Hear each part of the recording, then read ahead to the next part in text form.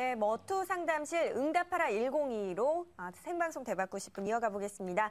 첫 번째 시청자분 바로 만나볼게요. 시청자님 안녕하세요. 아, 예, 안녕하세요. 안녕하십니까? 예, 안녕하세요. 아, 목소리가 상당히 네, 안 들리시는데요. 조금만 크게 말씀해 주시겠어요? 아, 남자분이신 것 같은데 목소리가 굉장히 작으시네요. 전화 연결이 지금 잘 되고 있는지 모르겠는데요. 여보세요? 네, 네, 네. 안녕하세요. 이제 잘 들리네요. 네네. 네. 아, 어떤 종목 때문에 전화를 주셨나요? 한국 콜마예요. 음, 한국 콜마 매수가하고 비중은 어떻게 되세요? 19,800원이고요. 네, 네. 비중 40%예요. 아, 그러면 어떻게 접근하셨던 시기가 분할 전인가요? 어떻게 된가요? 분할 전이요. 네. 지금 보유하신 지는 그러면 어느 정도 되셨어요?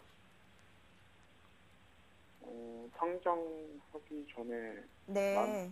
12,000 얼마 정도에 들어가. 음, 네, 알겠습니다. 자, 굉장히 많이 나셨네요. 그러니까요. 예, 예. 지금 일단은 축하드리고요. 이 부분을 잘 지켜야 되니까 그러니까요. 한국 콜마에 대해서 일단 힐링 코치를 해드리겠습니다. 먼저 화면 보시고 얘기 나눠볼게요. 네, 지금 장대진 전문가님께서는요, 아, 한국 콜마에 대해서 안전성, 기업 가치, 성장 모멘텀을 모두 좀 중립적으로 주셨어요. 5점 만점에 3점씩 주셨는데요. 힐링 처방, 시진핑으로는 안 돼, 더 큰 게 필요해. 이렇게 말씀해 주셨거든요. 네, 전문가님, 일단 시청자님하고 바로 인사를 나눠 주시고요. 뭐 중국 모멘텀을 약간은 더 필요하다라고 네. 보신 것 같아요. 네, 두 분 인사 나누실게요. 예, 안녕하세요. 예, 안녕하세요. 예. 어, 그래도 한국 콜마를 그 분할 전에 사셔가지고 지금 이익 중이신 거죠? 예, 예. 아, 예. 축하드리고요. 어떤 점이 제일 궁금하십니까? 아, 저 좀 장기적으로 한 내년 한 1월 한 정도까지 보고 있는데 예. 음, 좀 들고 가도 괜찮을지. 예. 장기적으로 내년 예, 예. 초까지 들고 가도 괜찮을지 물어보셨고요. 예. 이 한국 콜마가 한국 콜마 그리고 한국 콜마 홀딩스로 지금 분할이 됐습니다. 네. 그래서 두 가지의 주식들을 다 봐야 될 것 같은데요. 먼저 한국 콜마하고 한국 콜마 홀딩스를 보면은 한국 콜마하고 한국 콜마 홀딩스가 그 재상장 이후에 둘 다 이제 그 좀 올라가는 그런 분위기였습니다. 그렇지만은 전반적으로 이 한국 콜마가 그 모멘텀이 됐던 게 중국의 어떤 모멘텀이었는데요. 사실 중국의 모멘텀을 따라가기엔 따라가기는 따라갔는데 수익성은 그 나오지 않고 있는 뭐 그런 상황입니다. 그래서 네.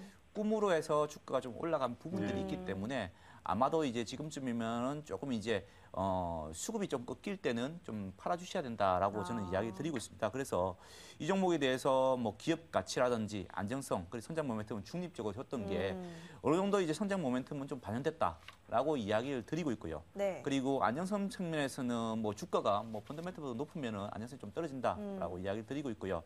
그리고 기업 가치는 뭐 탄탄하기는 하지만은 전체적으로 이 업체가 그 ODM이라고 해가지고 OEM ODM이라고 해가지고 네.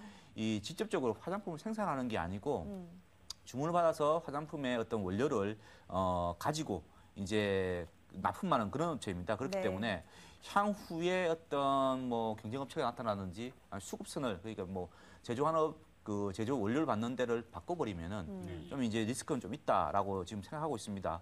전체적으로 보면은 뭐 제약 쪽도 좀 있지만 그 제약 쪽은 그렇게 그 매출이 크지 않습니다. 그래서 화장품 부분만 보시면 될 것 같은데요. 너무 좀 앞서간 게 아닌가라고 생각하고 있습니다. 그래서 저는 이 종목에 대해서는 좀 매도의 의견 좀 드리겠고요. 그리고 한국 콜마를 먼저 그 차트를 보면서 설명드리면요. 네. 일단 한국 콜마 같은 경우에는 현재 주가가 이렇게 탄력적으로 상장 이후에 이제 올라갔다가 향- 지금은 좀 탄력이 둔화되고 있죠. 네. 차트를 보시더라도 이제 수급층에서 거래가 많이 실었다가 주가가 튀고 그리고 이 주가가 조정받을 때 얇게 그러니까 뭐 작게 조정받았다가 다시 이제 올라가는 모습 보였다가 지금 최근 들어서는 반등할 타임이거든요. 음. 반등할 타임에서 반등이 약하다는 거죠. 그러면 수급적으로는 좀 풀리고 있다라고 좀 이제 틀리고 있다라고 생각하시면 되거든요. 그래서 이 종목을 기준으로 본다고 하면은 이 종목은 현재 주가의 어떤 흐름상을 본다고 하면은 뭐 삼 뭐 한 3만 지금 3만 3천 원까지 반등하면 좋, 좋은데 네. 3만 3천 원 반등하면 일단 파시라라고 네. 이야기 드리겠고요. 음. 그리고 밑쪽으로 28,300원 지금 이제 저점이거든요. 저점 부분이 이번에 깨버리면은 추세가 좀 바뀐다라고 보시면 됩니다. 그래서 네. 이 종목은 이렇게 대응하시면 될 것 같고요. 한국 콜마 홀딩스도 지금 주가가 지금 현재 쌍봉을 쳤죠. 현재 음. 쌍봉을 치고 그 동안의 어떤 탄력, 기울기.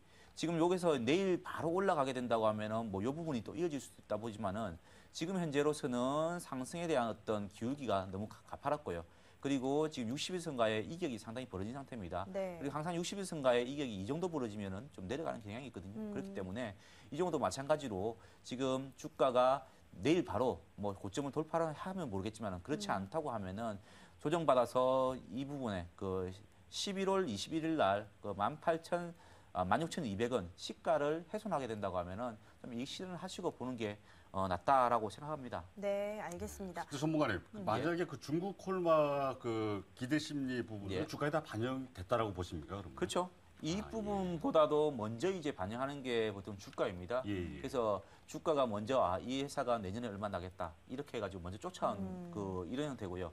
그렇기 때문에 지금부터는 이제는 실적을 이제 비교를 해가지고 실적이 음. 따라와야 되는 구간이거든요. 그렇기 예. 때문에 지금 향후부터는 이제는 주가가 좀 옆으로 길 가능성이나 음. 아니면 하락할 가능성이 더 높다라고 생각하고 있습니다. 예, 네, 알겠습니다. 혹시라도 대안주 제시해 주실 부분은 있나요? 지금 화장품 음. 관련 주들은 네. 지금 중국의 어떤 모멘텀을 가지고 음. 대부분 다 많이 네, 올랐습니다. 그렇죠. 그렇기 때문에 저는 뭐 오히려 그냥 뭐 업종을 바꾸시는 게 좋지 않나라고 생각해서 대안주는 가지고 오지 않았습니다. 네, 알겠습니다. 아, 지금 한국 콜마에 대해서 상담해 주셨고요. 일단은 음, 안전성과 기업 가치 성장 모멘텀은 지금은 약간 중립적으로 보는 게 좋다 이렇게 말씀을 해 주셨네요.